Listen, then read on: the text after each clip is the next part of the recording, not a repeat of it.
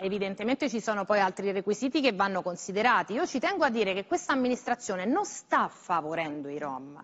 Questa amministrazione è quella che ha buttato giù le casette dei Casa Monica dopo 30 anni in cui nessuno interveniva, se vogliamo farne un discorso di etnie. Quindi non stiamo, non stiamo facendo favoriti.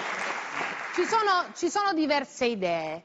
Ci sono quelli che vorrebbero riportarci a 80 anni fa e quindi creare i ghetti, perché i campi rom sono questo, sono addirittura divisi per etnie all'interno dei campi rom.